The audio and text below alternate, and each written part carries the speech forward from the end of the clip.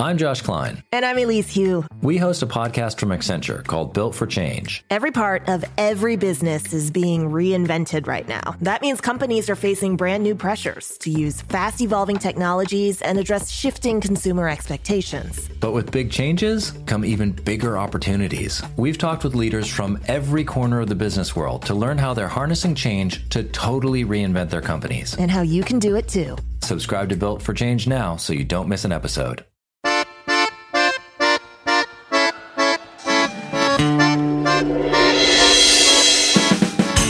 Welcome to Gabfest Reads. I'm David Plotz, one of the hosts of Slate's Political Gabfest. Exit Interview The Life and Death of My Ambitious Career would be a brilliant book if it were about any workplace in America. Kristi Coulter writes hilariously and cuttingly about meetings, performance reviews, more meetings, the big boss, corporate memos, also meetings.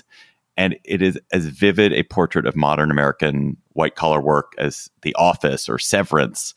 But Exit Interview is not about any workplace. It's about Amazon, the biggest and most important company in the world.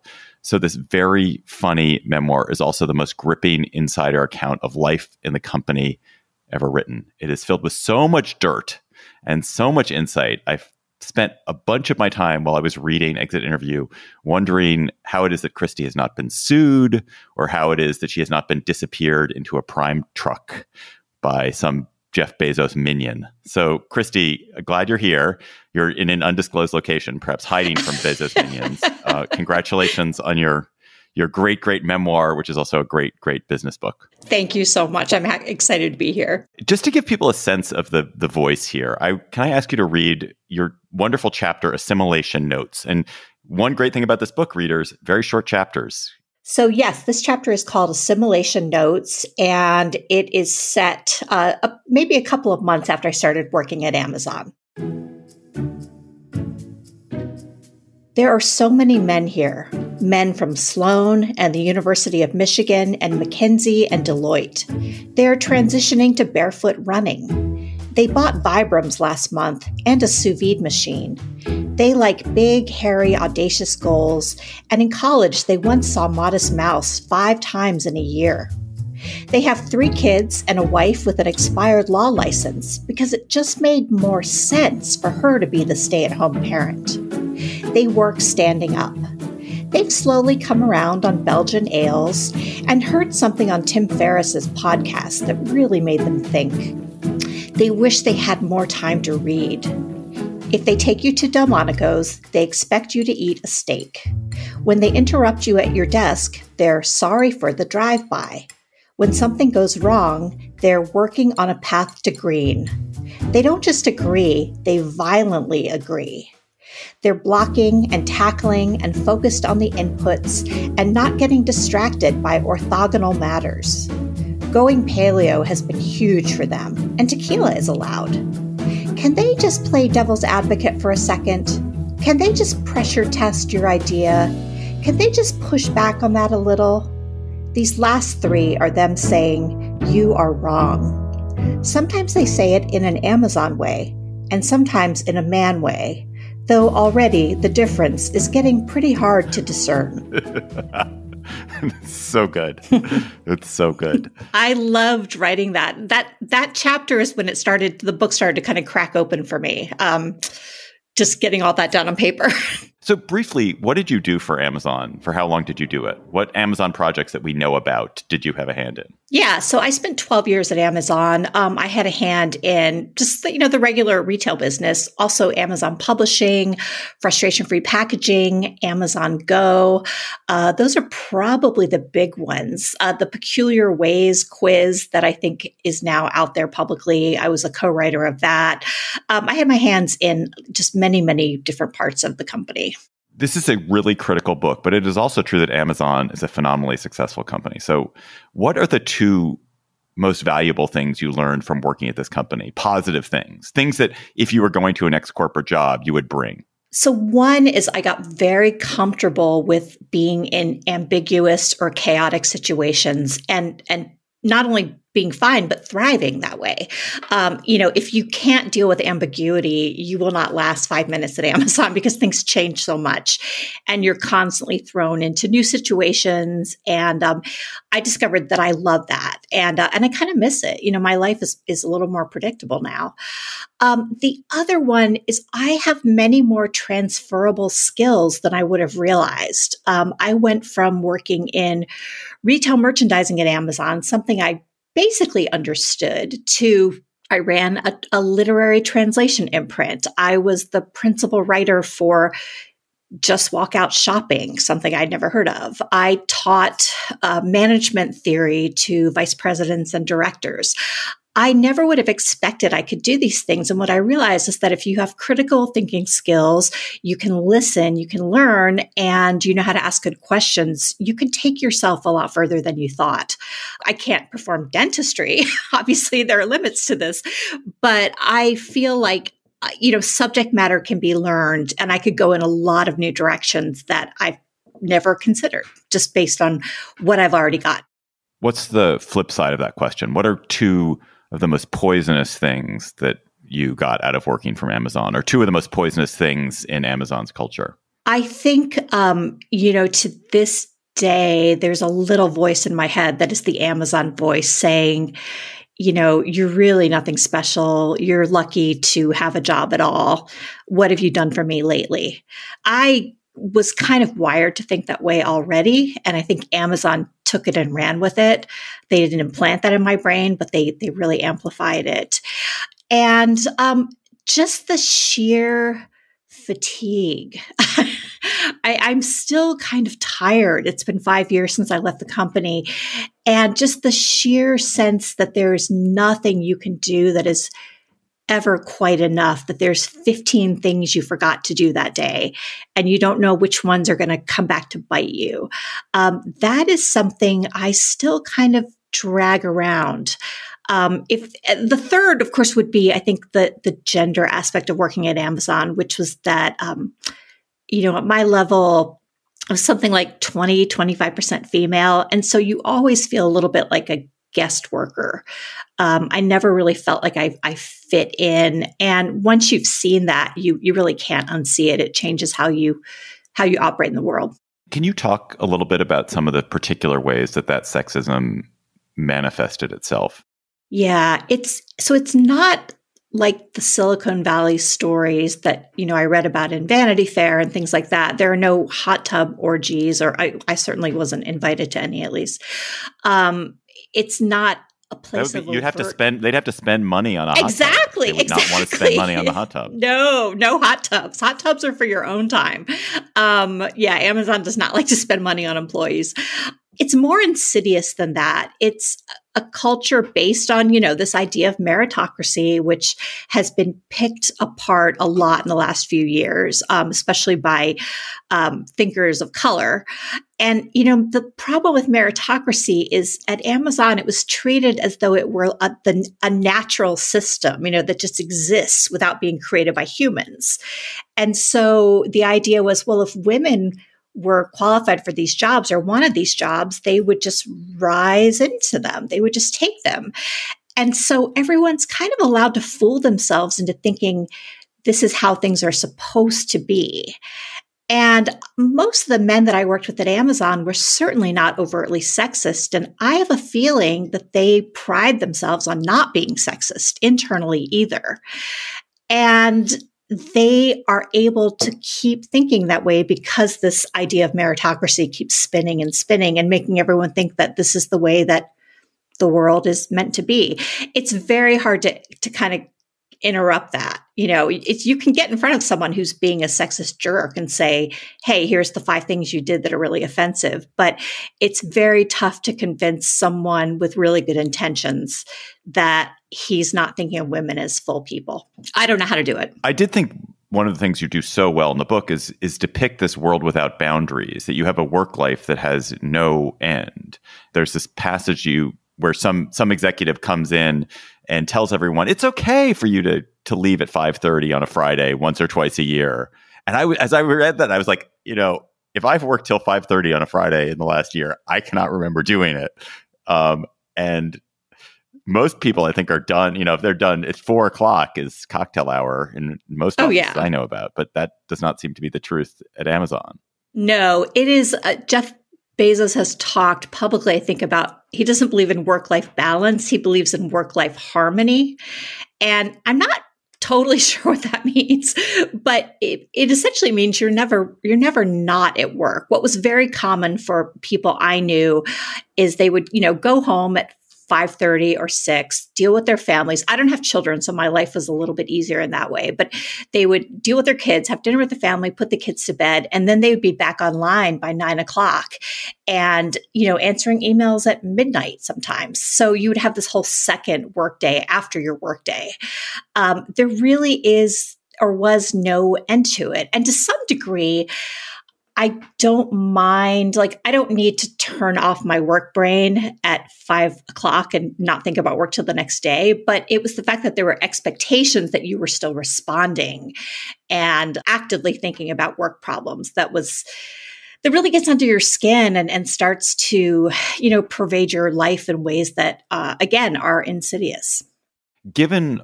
all that you've just said, why is it that so many people want jobs, the white collar jobs at Amazon? And I'm sure they have tons of applicants for every position, and people are desperate to be there. I think people understand that Amazon is an incredible place to learn. Amazon will make you smarter when you leave than when you, you came in. Um, it also looks great on a resume. I mean, if you can survive Amazon, it kind of says, you know, you're tough, you're you can think on your feet, um, you're probably pretty agile. So that's what I think. You know, I was on um, the Pivot podcast a couple weeks ago, and Scott Galloway said, you know, my students seem to love Amazon. They go there, and I, I thought, well, you know, yeah, if you go and you go in with a plan, and you're going to stay for maybe two years max, then and you land in the right place, I think you could probably have a decent experience. Um, then there's also, you know, the stock was going crazy for a while. Like we can't underestimate money as a reason people want to be there. Um, although I think you could probably do just as well at some of the less brutal tech companies. But yeah, I think people who want to work on big things and projects that sound kind of crazy from the outside, Amazon is the place to be. Or at least it, it certainly was during my time. I don't I don't know if that's changing.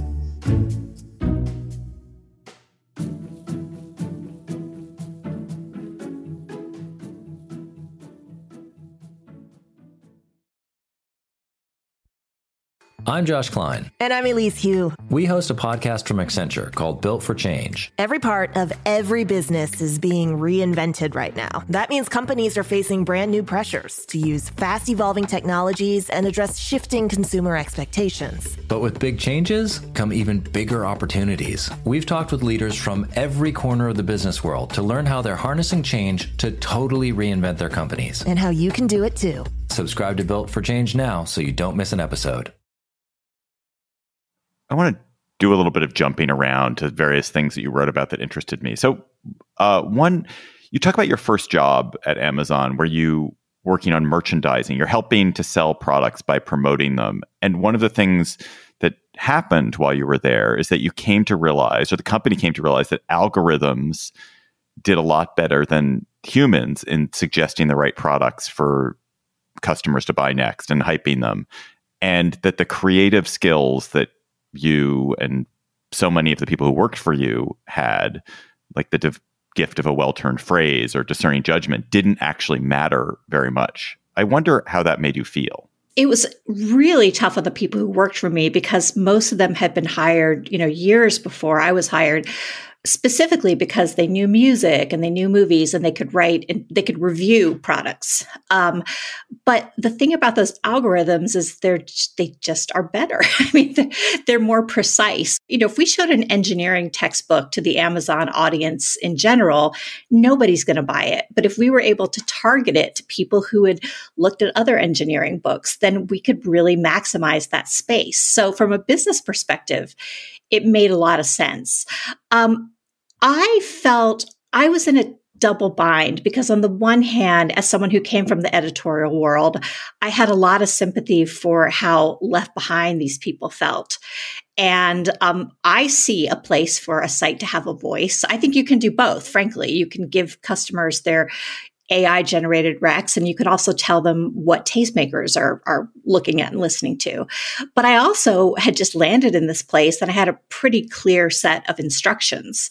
So you know, I wanted to keep my job. And so it was also frustrating for me that there was so much resistance from the merchandisers because I was thinking, hey, I moved here from Michigan to help this transition continue. And I'm going to get it done come hell or high water. And uh, you people don't seem to be on board with that. So my heart was with them and my panicky, secret heart, which wanted to stay employed, was, um, and which also has a, you know, my pragmatic side too, was very much on the we've got to keep moving away from this or I'm out of here. Amazon is a little bit like one of those Viking ship rides at carnivals, you know, that swings way back and forth. And I've since seen it go back to having much more of an editorial point of view. And I think that's great and healthy for the site. Um, I don't know business wise. I have no no insight into whether it's achieving their goals, but there are those ineffable things you can't measure that are important for a brand. What is a bar raiser, and is it a brilliant or appalling idea of Amazon's? so a bar raiser, great question. A bar raiser is someone who is kind of a super interviewer. You're specially trained to interview job candidates from more or less across the company. I was a bar raiser and I could interview anyone at my level or below who wasn't in a technical role. You know, I can't evaluate code. And the idea of a bar raiser is that you are looking for long term fit, um, that tricky phrase culture fit is essentially what you're evaluating for. And you're not on the team that's hiring, which is often kind of a team that's panicked about getting someone in to fill an empty seat. You know, they might be inclined to lower their standards to go for any warm body. So I interviewed like at least 800 people um, in my time at Amazon, many of those as a bar raiser. And um, that was my job was to go in, think, will these people make it at Amazon beyond this specific role? And then guide the hiring team toward making the right decision. It's it's a great idea in some ways. I do think the idea of interviewing for culture fit went kind of uninterrogated for too long. And it just became, you know, are we reproducing what we already have here? Because that's the culture, you know, tough people, men, people with who are heavier on quantitative skills than qualitative. Um, you know you get into this sort of uh, snake eating its tail situation.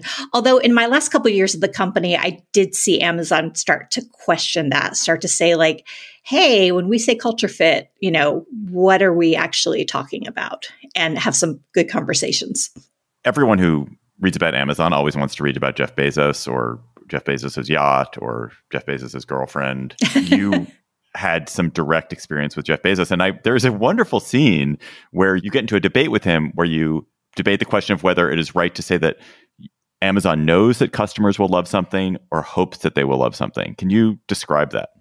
Yeah, we were um, running, I believe we were running a sweepstakes or something for wish list. It was something where we were giving customers a chance to win things.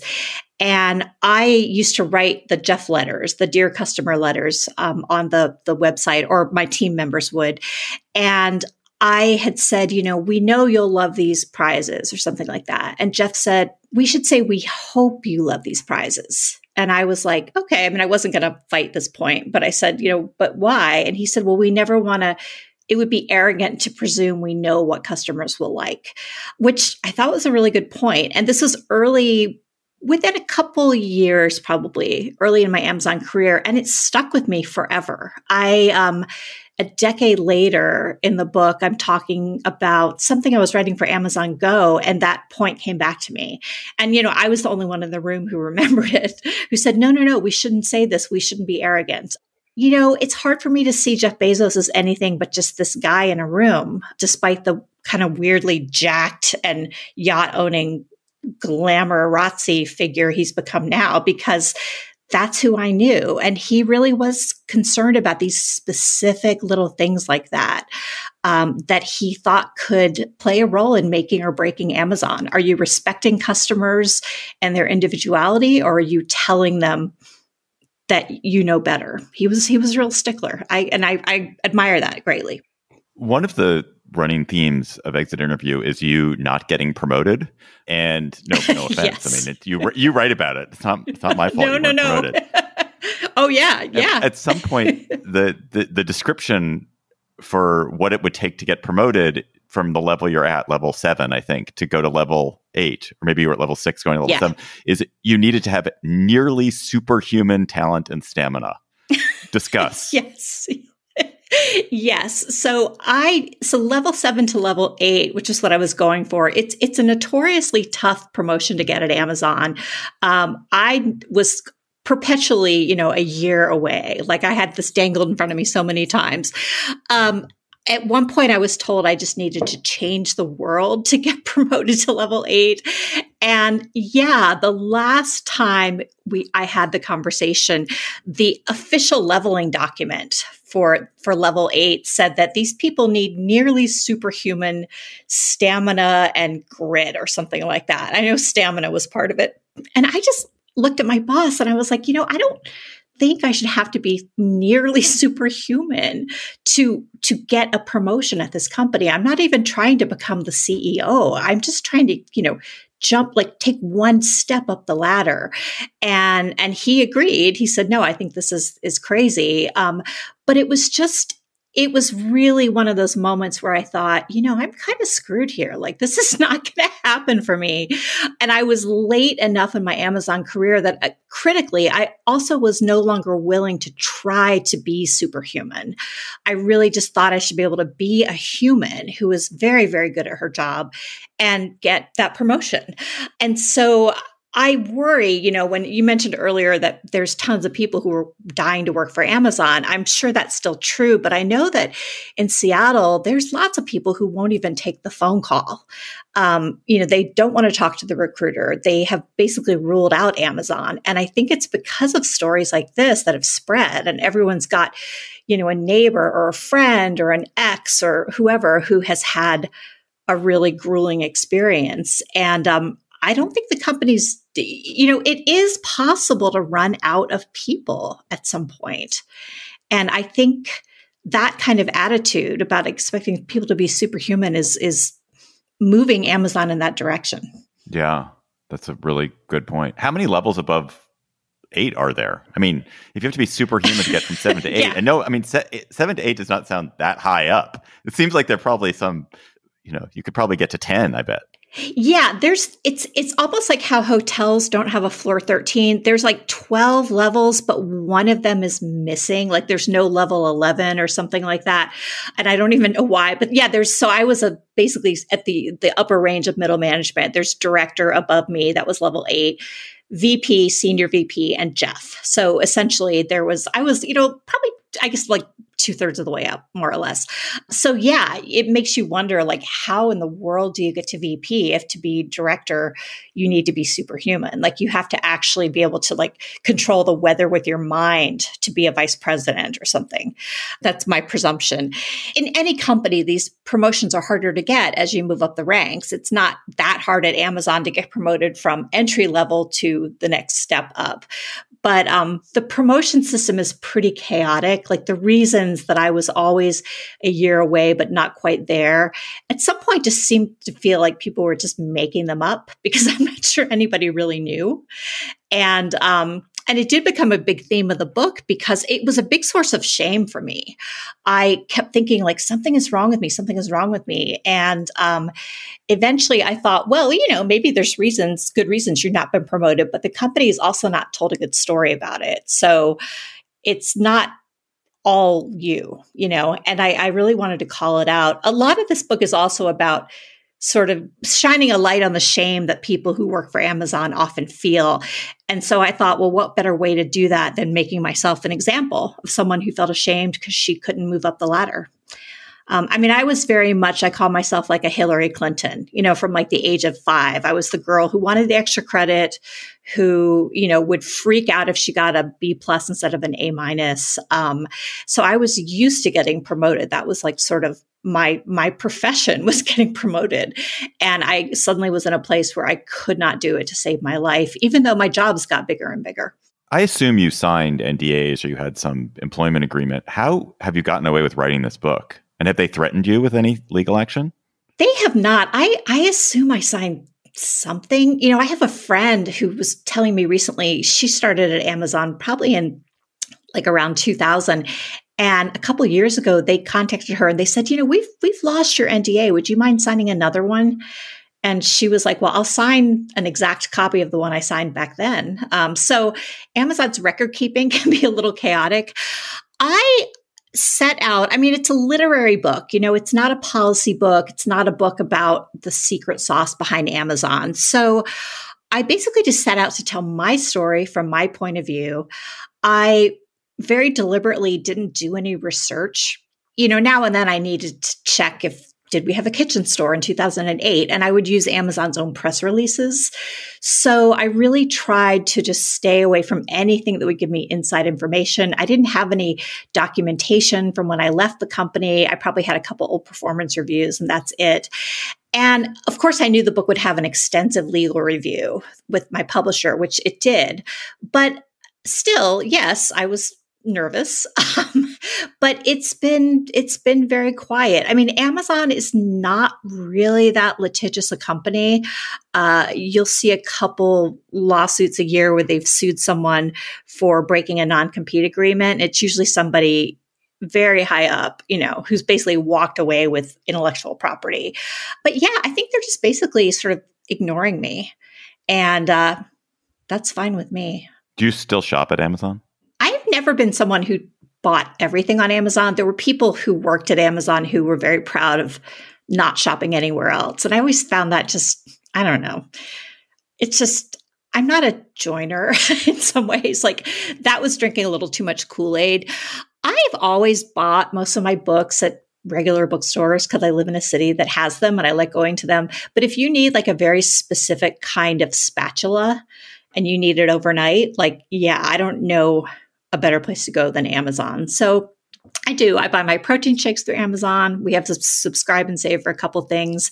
Um, I do find it to be a harder and harder store to shop just from a customer experience perspective. I feel like in the last few years, the product pages have gotten really crowded and some of the delivery promises are are off. Like I feel like it's degrading, which actually does make me sad.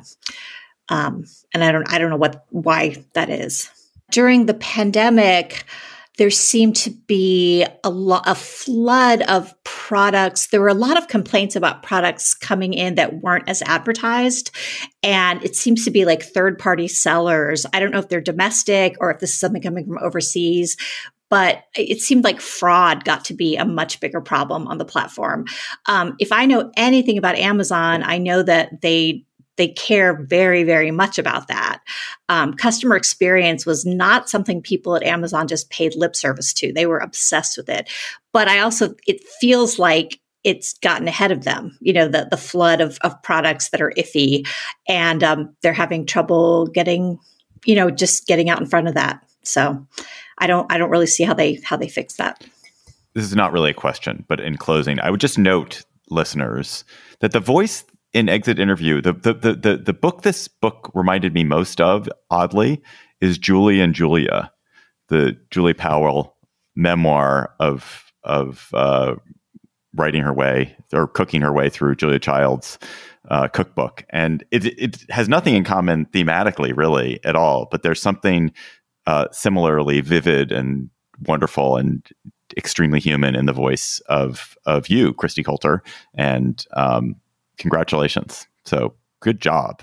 Thank you. It's a great compliment. I am a memoirist, you know, I'm a literary writer and I wanted to sort of put a human face on this company that I think people see as just a large entity. So, um, and I wanted it to be fun to read. So, um, I'm happy if I did my job.